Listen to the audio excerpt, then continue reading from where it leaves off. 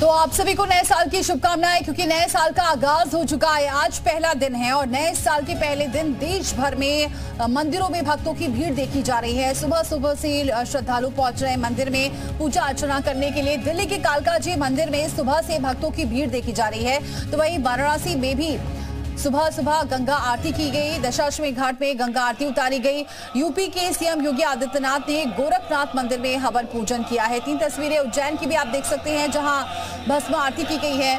और दूसरी तस्वीर आप हरिद्वार की देख रहे हैं, जहाँ सुबह सुबह से श्रद्धालु पहुँचे हैं गंगा स्नान करने के लिए। नए साल का आगाज़ भक्ति के साथ आज लोगों ने किया है और एक गुवाहाटी की तस्वीर आप देख रहे हैं। कामाख्या मंदिर में पूजा अर्चना के लिए श्रद्धालु पहुँचे हैं। तो नया साल आज है और आज दूर दूर से श्रद्धालु पहुँच रहे हैं मंदिरों में दर्शन पूजन करने के लिए।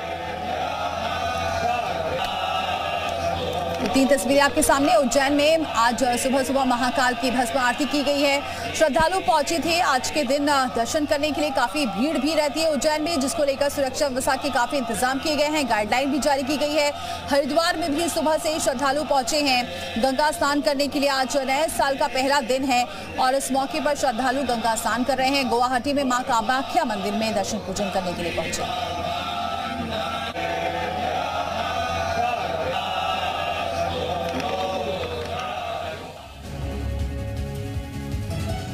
और चलिए अब आपको एक बहुत खूबसूरत तस्वीरें दिखाते हैं। दरअसल 2023 तो गुजर चुका है, लेकिन 2024 के नए सूर्योदय को लोगों ने कैमरे में रिकॉर्ड किया है। मुंबई में साल का पहला सूर्योदय देखिए जरा। तस्वीर में जहाँ कितना खूबसूरत ये सूर्योदय नज़र आ रहा है। दूसरी तस्वीर आप देख रहे हैं पुणे की, और तीसरी तस्वीर है गुजरात के महसाड़ा की। सैकड़ों लोगों की संख्या में सूर्य नमस्कार लोगों ने किया है। इस कार्यक्रम में गुजरात के सीएम भूपेंद्र पटेल भी शामिल हुए।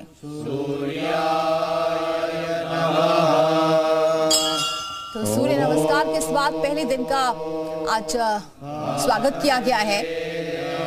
महसाड़ा की तस्वीर देख रहे हैं, गुजरात की, पुणे की तस्वीर देखिए, नए साल की सुबह की जो तस्वीर है, उसे कैमरे में रिकॉर्ड किया है।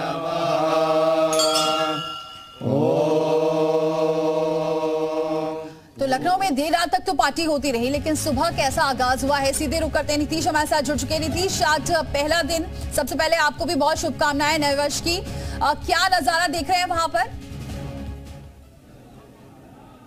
नए साल की आपको भी शुभकामनाएँ और जिस वक्त ये पूरा उत्तर प्रदेश रात को नए वर्ष का स्वागत कर रहा था। तो उस वक्त तस्वीरें मस्ती की थी, लेकिन अब भक्ति की है। आप देखिए, हनुमान सेतु मंदिर है और यहाँ जो भक्त है, वो जय श्री राम का उद्घोष भी कर रहे हैं और इसके साथ ही यहाँ पर सुंदरकांड का पाठ भी होने जा रहा है। तो आज के दिन जो भक्त हैं, वो किस तरह से स्वागत कर रहे हैं इस नौ वर्ष 2024 का?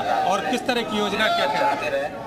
यहाँ पर बाबा की कृपा से महाराज, नीम महाराज जी की दया से नववर्ष की पूर्व संध्या पर कल भजन का कार्यक्रम हुआ था। बहुत भक्तों ने भजन गाया यहाँ पर। ऐसे ही हम लोग हर साल प्रतिवर्ष इसको हम लोग करते हैं और आज इस समय नए वर्ष का आरंभ श्री सुंदर कांड का पाठ नीचे हम लोग प्रवचनाल से। आपसे जानेंगे उत्साह कितना नव वर्ष के स्वागत को लेकर और किस तरह का उद्घोष हम लोग को बड़ी खुशी है और हम आने वाले समय में हमारा देश बहुत आगे चले।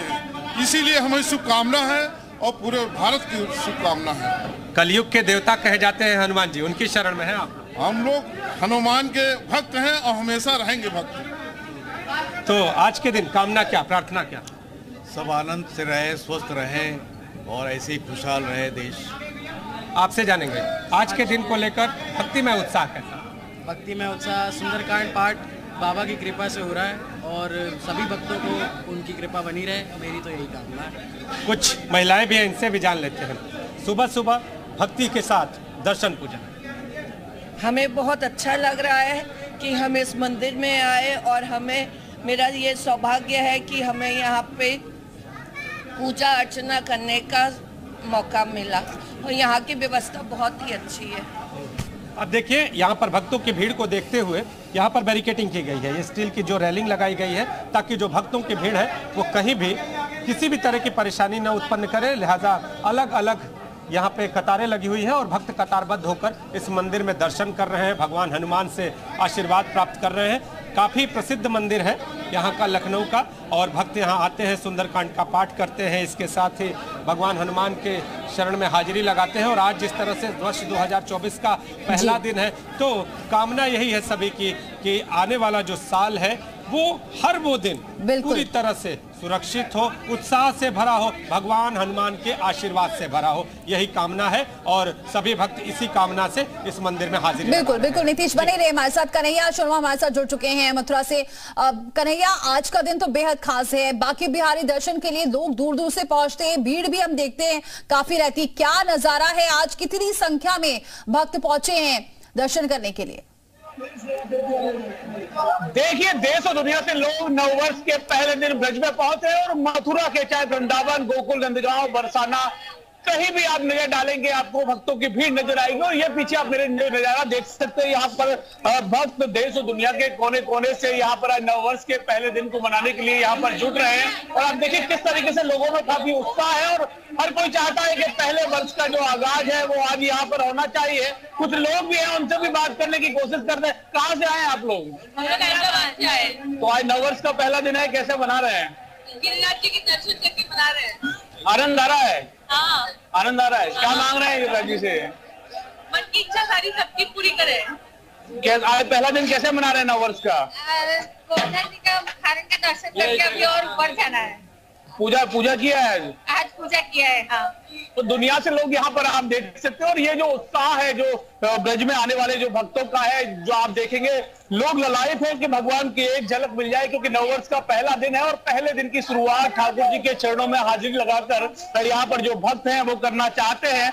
ऐसे में सबसे बड़ी बात कि मौसम भले ठंडा हो सर्द मौसम के बीच भी सुबह से ही भक्त यहाँ पर कतारबद्ध होकर मंदिरों में लाइनों में लगे हुए हैं। बाके बिहारी गिरिराज महाराज या राधा रानी की एक झलक पाने के लिए सभी लोग यहाँ पर एकत्रित हैं और जहाँ तक आपकी नज़र जाएगी क्योंकि गोवर्धन में दूध चढ़ाने का विशेष महत्व है। ठाकुर बाके बिहारी के दर्शनों के लिए भी लोग पहुँच रहे हैं क्योंकि गिरिराज जी गोवर्धन बरसाना नंदगांव जहाँ भी आप देखेंगे नववर्ष के पहले दिन श्रद्धालुओं की भीड़ हर जगह दिखाई दे रही है और सभी लोग चाहते हैं कि जो दिन की शुरुआत इस वर्ष की शुरुआत है वो भगवान के चरणों में साल की जो शुरुआत है वो दर्शन करने के साथ हो बाकी बिहारी के और मथुरा वृंदावन के। बहुत शुक्रिया करें और नीतीश हमारे साथ जुड़ने के लिए वहाँ का नज़ारा दिखाने के लिए। तो दो